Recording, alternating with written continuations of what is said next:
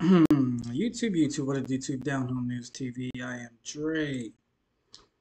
We got a video coming from Sky News Australia, the land down under, mate. I have a horrible Australian accent. I'm sorry, people. It's late in the evening. I'm a little tired. Please forgive me for my lack of my lack of uh, comment, comedic voiceovers. But um, title of this video is "Lefties Losing It." Rita Panahi hits out at disturbing or disgusting slur from the View. I'm dyslexic. I, I, I admit it. Or I can't read one of the two. Like I said, it's late in the evening. You can see it's pretty dark. I need to get better lighting in here, but uh, yeah, I seen portion of the view about what Miss Panahi is speaking about but uh, let's just check it out together. Let's check it out. Now it's time for Lefties Losing It. Let's start, Lefties, with the ladies of The View finding new lows. Just when you think this lot have hit rock bottom, they start to dig. Listen to this disgusting slur from race baiter Sunny Hostin against a wife and mother, Brittany Mahomes, the wife of arguably the NFL's best player, Patrick Mahomes. She's now being accused of not caring enough for her interracial family because she liked a Trump post on Instagram. That this shift effect uh, will speak to more women about the true character of Donald Trump and, and, and will turn them away. But to your initial point, I know you said we weren't going to talk about it, but I was. Um, it just seems to me that since she is in an interracial marriage, um, she should have known that to support a race is problematic. Mm. Um, her children are, are biracial. These people are demented with hate. Now, let's check in with the woman they see as their saviour. Kamala Harris was with Oprah for a loving the softest of softball interviews you'll ever see, and she still managed to screw it up. I promise to inflict only one minute of this calamity on you, and Watch this carefully. You can see Oprah dying inside as she listens to his incoherent gobbledygook. It's, it's kind of beautiful, actually. Americans, by character, are people who have dreams and ambitions and aspirations. We believe in what is possible. We believe in what can be. And we believe in fighting for that. That's how, that's how we came into being. Because the people before us understood that one of the greatest expressions for the love of our country, one of the greatest expressions of patriotism, is to fight for the ideals of who we are, which includes freedom to make decisions about your own body, freedom to be safe from gun violence, freedom to have access to the ballot box, freedom to be who you are and just be, to love who you love openly and with pride, freedom to just be. Hmm. And that's who we are. We believe in all that. Dear me, did you see the moment there when uh, the realization dawned on Oprah that by giving Kamala this platform, she'd made a terrible mistake that she was actually helping the Trump camp? Yeah, that was a, that was a good moment. Now, that realization of just how hopeless this candidate is was also evident with the National Association of Black Journalists.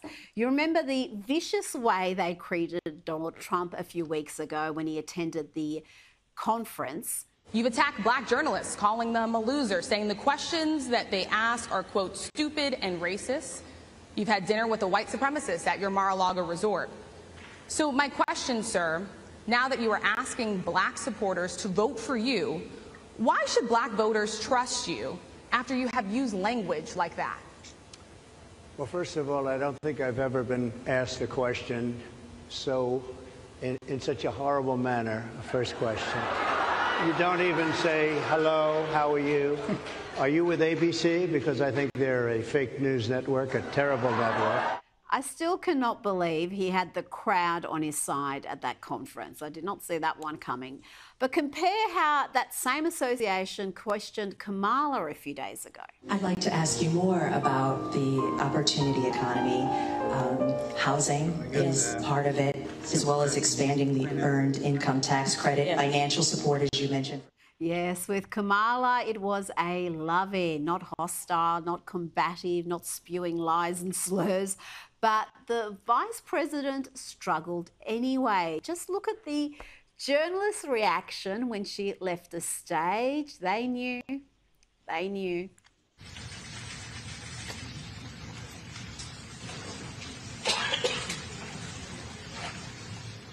Now, there was at least one voter who was moved deeply by that Oprah Kamala interview. Oprah and Kamala have me crying. It's like the nostalgia of Oprah in the 90s after high school, but like with the hope of today with Kamala, and, and there's a Swifty right behind him. I wonder if she ever seen the video of Oprah and Trump in the, when was it, the early, late 90s, early 2000s? I wonder if that would get her crying too. I love it so much. You know, they should have never closed the asylums. They should have opened a few more. and this next. What really gets me is how the view, maybe 10, well, we're in 2024, maybe 20 years ago, Joy Behar was all hugged up on Trump and falling in love, gushing and gobbling and slobbering all over him. When uh, he was, I think that was his first time actually throwing his hat in the ring for public office, but and how today they could just turn their back on him like he's the worst person in the world. But a few decades ago, there was all googly goggly making lovey dovey eyes at him and people like that man you just can't trust. Just can't trust. But thankfully mike tyson held strong for our man trump. And he knows what a good guy he is and he said he's not turning his back on him. And i would like to dare a lot of the liberals to try to do something crazy to Mike Tyson and see how that works out for you. Seeing the video of him on a plane when that guy kept antagonizing him, but let's continue on. Pastor, female pastor, could do with time in a padded cell. Listen to her claim that if Jesus were around today, he'd be an abortion doula. If Jesus were here today, he would be a clinic escort, distracting women from the hatred of the protesters or an abortion doula holding women's hands and offering support and love as they end their pregnancies. If Jesus were giving his sermon today, he might also have said, Blessed are those who end pregnancies, for they will be known for their loving kindness. I wonder. I don't think she read the part in the Bible out. I don't know the scripture, chapter, or verse. I'm sorry, but um, I'm par- paraphrasing, but it says to harm a young child or harm any child. I'm assuming that means babies in the womb as well. They'd be better off tying a rope around their neck, attached to a rock, and basically throwing it into the ocean so, like I said, I was paraphrasing it, but if y'all know in the comments, let me know what it exactly stated. But um, I don't think Jesus would be too happy about abortions or actually helping out with abortions.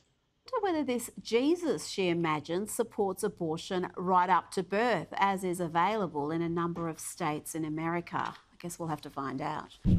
Now, as always, there'll be plenty more lefties content with my next guest. Check out this young man who reminds me a little of Alex Stein. Here he dresses up as Donald Trump and does God's work. That's uh, trolling anti Israeli activists. Introducing Zaxby's new chicken finger tacos. One with pico and creamy chipotle ranch. And Palestine will live forever. When people justified. There we From the river to the sea. Unbelievable. Unbelievable. Up with liberation. Joining me now is host of Prime Time with Alex Stein on Blaze Media. Well, I'm cut it up there.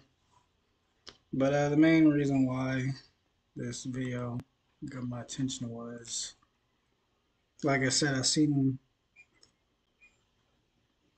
well, I heard bits and pieces of uh, The View talking about um, Patrick Mahomes, Brittany Mahomes, is that her name? Yeah, Brittany Mahomes liking of a Trump post.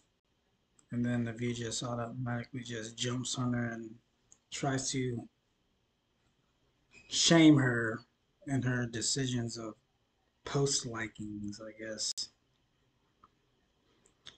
Oh, people, people. Tough road ahead of us. Wasn't life a little bit easier when we were all young and naive of what was going on in the world and we don't have all these cares and responsibilities, but I guess that's growing up, and I'm gonna end it here. Down Home News TV. I'm Dre. Sorry for the lack of enthusiasm today. I'm pretty tired. Past my bedtime. I gotta get up early, but uh, thank you for watching the video, and I will see y'all on the next one.